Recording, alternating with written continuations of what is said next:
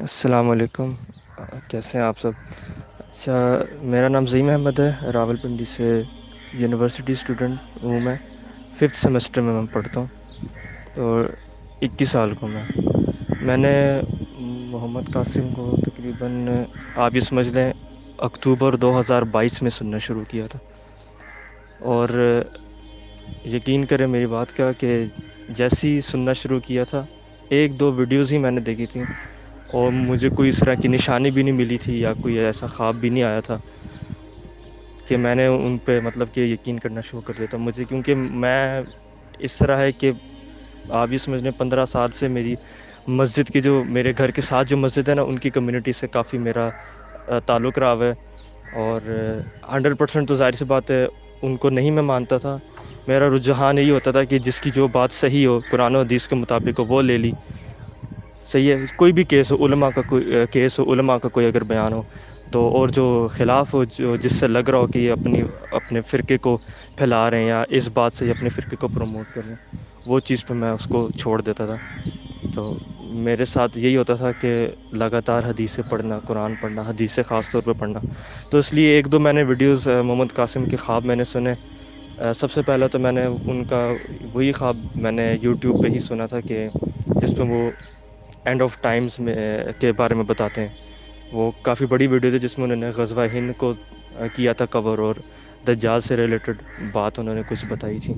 उससे काफ़ी क्लियर हुआ था। तो पहले से अल्लाह ताला ने ऐसा बस मुआवजा किया कि मेरा ईमान मतलब पुख्ता हो गया था। मुझे लगा था कि ये सही बात करें।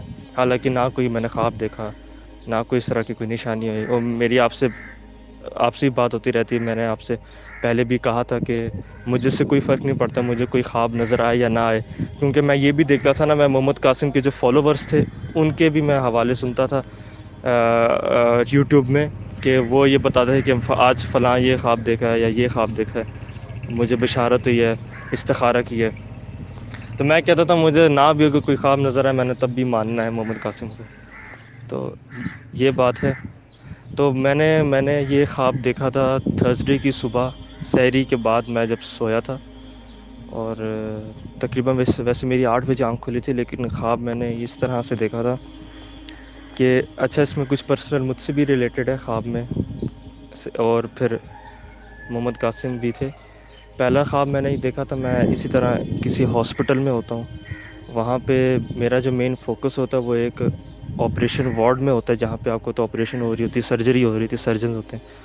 और मेरा जो फ़ोकस होता है मुझे जिस तरह ख़्वाब में दिखाया जा रहा होता है, ज़ाहिर-सी बात है आपका तो कोई उसमें नहीं होता क्या कहते हैं, कोई कंट्रोल आपका होता है, जो दिखाया जा रहा होता है आप बस ख़्वाब देख लेते हैं। तो उसमें ये होता है कि एक नर्स को मैं देख रहा होता हूँ, फ़ीमेल नर्स होती है, फ़ीमेल, जवान ही एक लड़की होती है वो इस तरह मतलब अपना काम कर रही होती है, टेंशन में थोड़ी होती है। ज़ाहिर-सी बात है सर्जरी हो रही होती है, मशगूल होती है अपने काम में और उसके फ़ेस एक्सप्रेशन से लग रहा होता है कि पता नहीं इस पे इस कोई ज़ुल्म किया जा रहा है। अब इसके पीछे क्या सबब है वो मुझे नहीं पता ख़्वाब में कि क्या था। हो सकता है इसको सही से फ़ैसिलिटी ना दे ज दी जा रही हो, कोई इस तरह का को कोई मामला हो सकता है।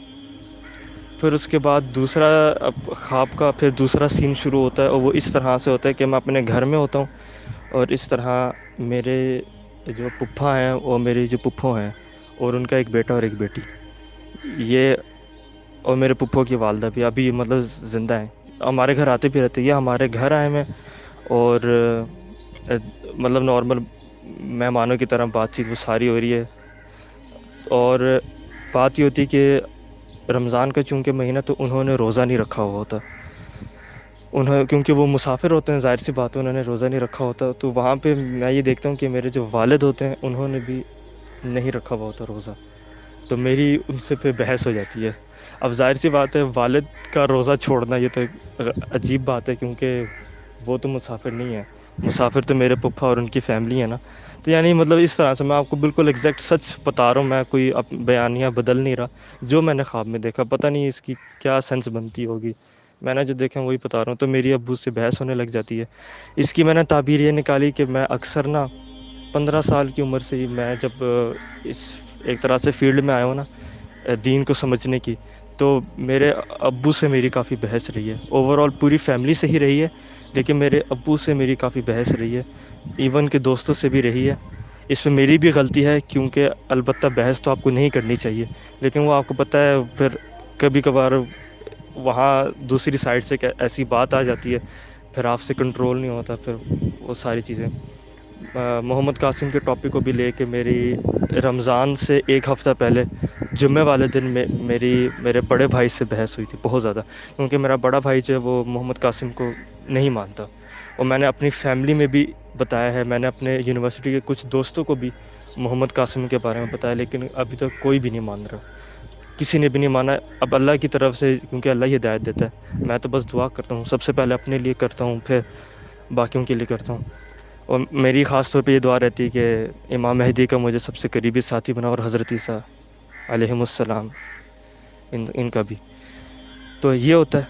फिर उसके बाद तीसरा सीन जो मैं देखता हूँ अपने ख्वाब का, वो ये होता है कि मैं उसी लड़की को, उसी फीमेल नर्स को देखता हूँ कि वो मज़लूम होती है और वो इस तरह वॉशरूम में जाती है हाथ धोने के लिए। ऐसा लग रहा होता है कि वो सर्जरी करके या कुछ इस तरह फारिग हुई है। तो मैं उसके पीछे जाता हूँ मैं बेसिकली उसका हाल पूछने जा रहा हूँ कि, कि क्या मसला है उसको। तो जब मैं जाता हूँ तो मुझे मैं मैं अभी उससे बात नहीं करता वो रो रही होती है और वो रो इस तरह से रही होती है उसकी आँखों से खून बह रहा होता है। खून बह रहा होता है और वो अपने खून जो है जो खून वाले आँसू होते हैं वो सफ़ेद रंग की जो टोपी होती है ना जो आप पतली टोपी सर पे पहनते हैं उससे वो पूछ रही होती है उसको। सही है, वो साइड वाले बेसन में खड़ी होती है बीच वाले बेसन में मैं खड़ा होता और मेरे राइट साइड पे एक मौलवी नुमा एक शख्स आता है जिसकी बड़ी सी दाढ़ी होती है काले रंग की। और मैं ये देखता हूँ कि उसके सर पे टोपी नहीं होती है, वो जो मौलवी नुमा एक शख्स होता है, वो उस लड़की को इस तरह से देख रहा होता है, गुस्से से कि कि गोया लग रहा होता है कि ये उस शख्स की टोपी जिस टोपी से वो अपने खून वाले आँसू मतलब कि पहुँच रही है। ये होता है तो मैं वो सीन देख रहा होता हूँ कि किस तरह से वो शख्स उससे उस लड़की को देख रहा है। वो खैर लड़की हाथ धो के, मुँह धो के जो भी वो चली जाती है, उसके बाद वो जो मौलवी है, वो भी जाता है। मैं भी पीछे निकलता हूँ, लेकिन वो जो मौलवी नुमा शख्स होता है, वो उस लड़की को फॉलो नहीं करता। वो अपने रास्ते चला जाता है। वो लड़की अपने रास्ते चली जाती है। तो मैं उस लड़की के पीछे जाता हूँ, उसका हाल मालूम करने के लिए, उसको ये बताने के लिए कि अगर उसको किसी चीज़ की ज़रूरत है, किसी मदद की तो मैं उसकी मदद कर सकता हूँ किसी भी तरह से। तो मैं ये देखता हूँ कि अच्छा वो जो हॉस्पिटल होता है, वो बहुत बड़ा हॉस्पिटल होता है।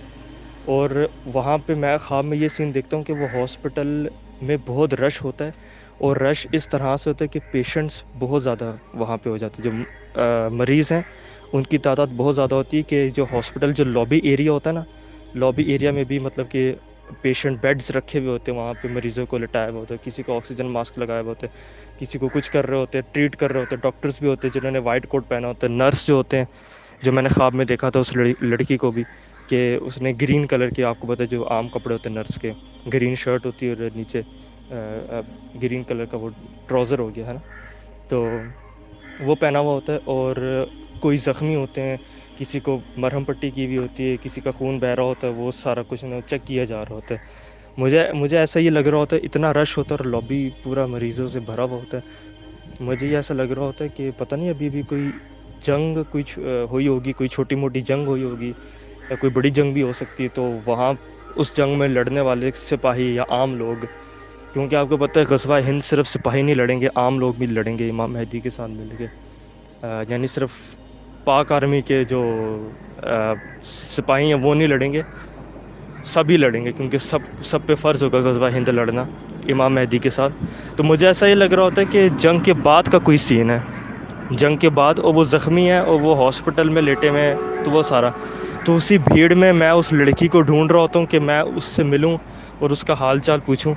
लेकिन वो मुझे मिल नहीं रही होती तो अचानक मैं जब पीछे मुड़ के देखता ना तो मुझे फ़ौर मोहम्मद कासिम नज़र आते हैं, चलते हुए।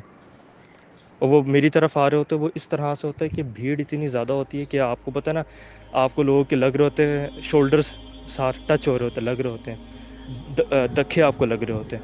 लेकिन जब वो आ रहे थे करीब, जब मोहम्मद कासिम करीब आ रहे होते तो वो इस तरह से सीन हो रहा होता कि जो लोग हैं, वो उनके लिए रास्ता बना रहे हैं, वो मतलब साइड पे हटते जा रहे हैं, वो उनके लिए रास्ता बना रहे हैं वो फिर वो बीच में से आराम से वो चल रहे यानी कि उनको धक्का नहीं लग रहा, वो आराम से चल रहे हैं। तो वो मेरे पास आते हैं वो मुझे कहते हैं कि, वो पहले मुझे अस्सलाम वालेकुम कहते हैं। और मैं उनको देख के इतना हैरान होता हूँ, मुझे सलाम का जवाब देने की भी वो मतलब कि ताकत नहीं होती। मैं उनको देख के ही हैरान होता हूँ कि ये मुझसे मिलना है वो कहते भी हैं कि, आप कैसे हैं? मेरा नाम तो नहीं लेते, आप कैसे हैं? और वो ये कहते हैं कि, आपसे मिल के मुझे बहुत खुशी हुई। वो मुझे इस तरह कह रहे होते हैं। और मैं आप इधर इसलिए आया हूँ मैं आपको सही रास्ता दिखाने आया हूँ। तो मैं हैरान होता हूँ कि ये मतलब कि स्पेशली मुझे कह रहे हैं। मुझे बहुत ज़्यादा खुशी हो रही थी और फिर वो मेरा सीधा हाथ पकड़ती यानी वो अपने उल्टे हाथ से मेरा सीधा हाथ पकड़ते हैं और फिर वो मुझे साथ लेके जा रहे होते चल पड़ते हैं कि आओ मैं तुमको आ, सही रास्ते पे लेके जाता हूँ। सही है? तुम अब मेरे साथ ही रहोगे। ये मुझे जुमला अभी तक याद है। आओ तुम्हें मैं सही रास्ते पे लेके जाता हूँ। तुम मेरे साथ ही होगे। रहोगे। तो मैं चल पड़ता हूँ उनके साथ। उन्होंने मेरा हाथ पकड़ा हुआ होता है। और जब मैं जा रहा होता हूँ तो मुझे इसी तरह रास्ते में ऐसी भीड़ के दौरान ही फिर वो आ, आती नज़र। वही लड़की नज़र आती है कि जो मतलब बड़ी मज़लूम होती है। मैं उसको जब मैं मतलब जब मोहम्मद कासिम मुझे लेके जा रहे होते ना, फिर मैं उस लड़की को रोकता हूँ। उसको, उसके मतलब बाजू पे हाथ डाल के ना उसको रोकता हूँ, क्योंकि वो, आपको पता है ना कि मरीज़ बहुत ज़्यादा होता है, रश होता है तो वो फिर से टेंशन में होते कभी उस मरीज़ को देख रही है, कभी दूसरों को देख रही है। तो मैं उसका ऐसी बाजू, उसका पकड़ के उसको रोकता हूँ, उसको मैं कहता हूँ कि आप फ़िक्र करने की कोशिश ना करें, मैं आपकी भरपूर मदद करूँगा, जिस तरह से भी आपको मेरी मदद चाहिए होगी। इसी दौरान फिर वो मतलब निकल जाती है वो, मरीज़ों को देखना शुरू कर देती है।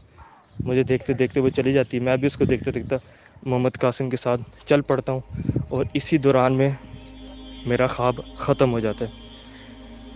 और जब मेरा ख्वाब ख़त्म होता है मुझे याद है कि उस वक्त अच्छा ख्वाब के दौरान ना मुझे पहले से ही अपनी बॉडी मूवमेंट यानी कि हो रही होती है महसूस। मैं कभी मतलब कि ले रहा होता हूँ करवट कभी।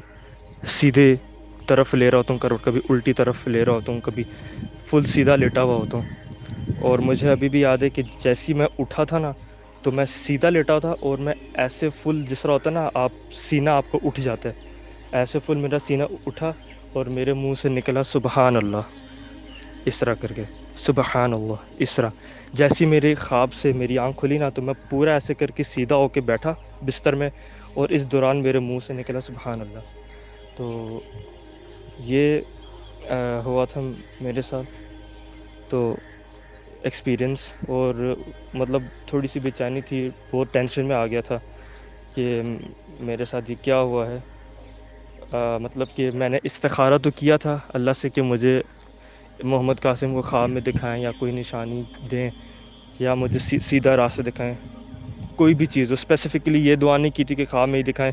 मेन ये था कि बस साथ मुझे उनका मिले। तो उठा था थोड़ा बेचैन था।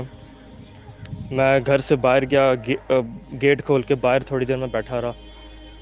गली में मैं बैठा रहा थोड़ी देर फिर उसके बाद अंदर आ गया था।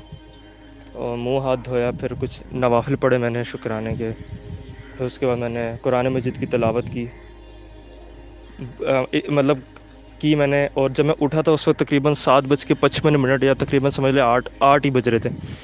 फिर मैंने की मतलब नवाफिल पढ़े कुछ मैंने कुरान की तलावत की फिर उसके बाद फिर मुझे बहुत सख्त नींद आने लगी मैं फिर सो गया।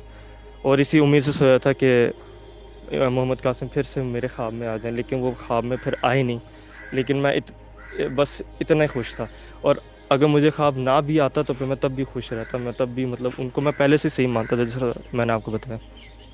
तो आप ही पहले बंदे हैं जिनको मतलब मैंने ये अभी शेयर किया ख्वाब अभी।